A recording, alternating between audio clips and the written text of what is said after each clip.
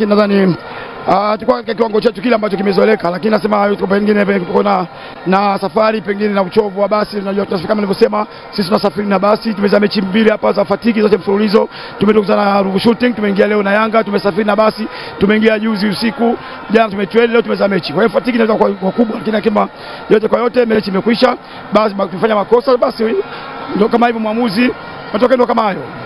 Kipindi cha pili ulikuja na sabu tatu, kipi ambacho ulikiona?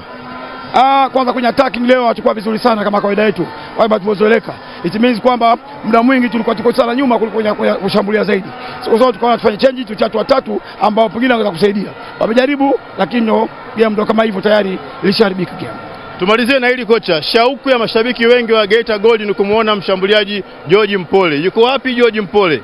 Ah, George Mpole hayupo, ana majeraha ana majeraha na atakuwa nje kwa muda gani?